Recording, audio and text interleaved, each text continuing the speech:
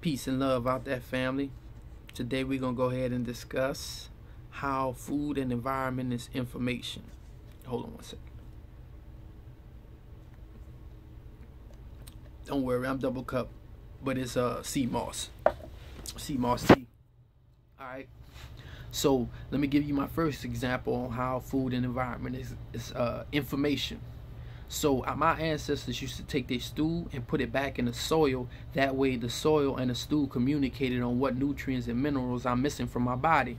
So if I put it back up, if I put it down in there and the uh, soil knew that I was missing iron, it'll make a more potent iron plant like the burdock or it'll make more iron plants that I can go ahead and ingest and get that mineral back so I can communicate with the universe. Why do I say the universe? It might sound like spookism, but let me tell you, let me break it down real quick in a simple way. My if my soil can communicate with the I mean if my stool can communicate with the soil, therefore the soil communicates with the earth.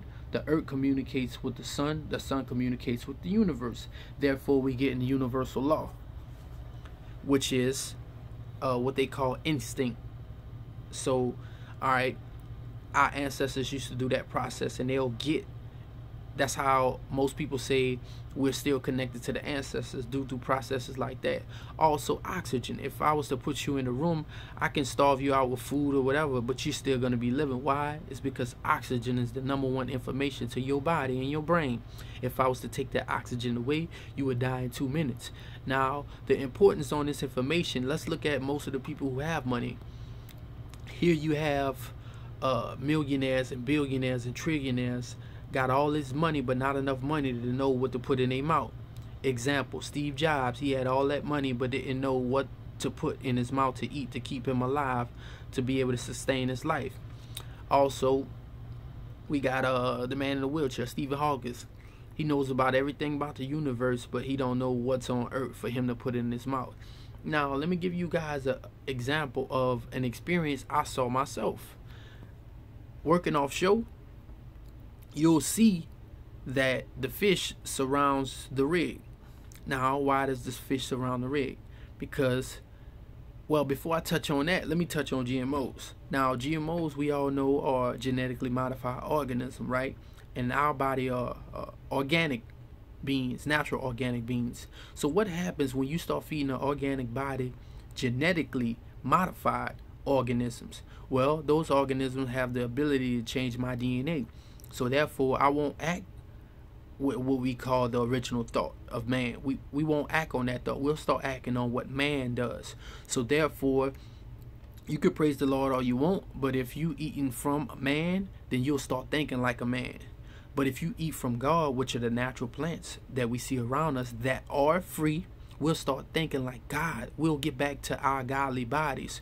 So how could your third eye be open when you eating carrots, potatoes, you know, GM, GMOs. When you eating that GMOs, it's changing your DNA day by day. So this is why our people are mad. This is why I won't follow no leader, or you shouldn't follow no leader, or you shouldn't listen to no leader that eats unhealthy, man. Who's who's gonna follow somebody with swole ankles, high blood pressure, impotence, and diabetes? Come on, man. He can't think for himself. He's thinking irrationally. He's thinking mad.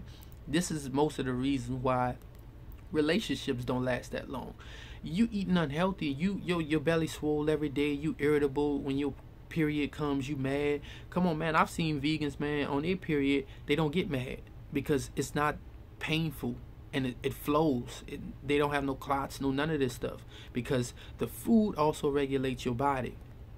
Your body regulates your emotions. So this, these are the reasons why people are mad eating GMOs, eating genetically modified organisms. So as we see those GMOs play havoc on the body big time. Now let's go to my story. What I was going to tell you. Working offshore a couple years ago, uh, I've noticed when I look down, I'll see the fish surrounding the rig, and I'm like, man, these fish know when the food coming, what time it's coming, even the seagulls. So we'll see them surrounding the rig, right? And I'm like, why the hell are they doing it? And I, as I started looking at the food, here we are offshore feeding fish, pork, chicken, cow, and everything else under the sun that's GMO. Now you have the fish that everybody says so good hook to the GMOs that they know what time it's gonna come out, they know when it's gonna be dumped. And they waiting. But let me show you how information is being inseminated to the fish. The fish do not remember the uh what is called the the path or the uh when the seasons change they don't know. They supposed to know when the seasons change when the tides change and when the water get cold and warm. But by them eating from man instead of eating from god the stuff that they supposed to eat they start thinking like man they are being greedy. They're eating all the foods. And then guess what? When it's time for the swish the fish to go ahead and swim off and migrate they don't migrate. So the water changed the temperature changed and they die they float up to the top when they were supposed to go to warm waters. But they can't think for themselves no more because they're eating what? Genetically modified organism, which probably changed their DNA and the reason why you see in three-eyed fish. Yeah, man, this shit deep. It gets deep, man. I'm telling you, it gets deep, man.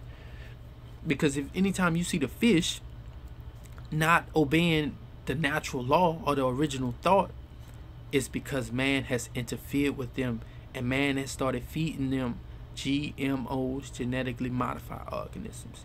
So I hope that was enough juice for my people out there today, man. Um, I appreciate all the support, and I'm gonna continue to give you guys thorough information that I'm gonna study myself, try on myself, and then give to you first. So any any information I give you guys is gonna be from experience only. I try not to touch on none of the social things because that shit is just a distraction. Because without healing and health, we ain't got none of that what's what's a billion dollars when you gonna die next week with cancer? Some of y'all might say that's money and that's good. No it's because you never experienced life and it's a shame that we rather spend money. I'm not saying there's nothing wrong with money either too. Don't don't get it twisted.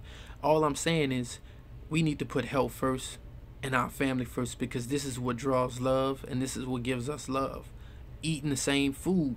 You see harmony through every animal on the planet when they eat the same food. So Peace and love, family. Y'all be safe out there, man.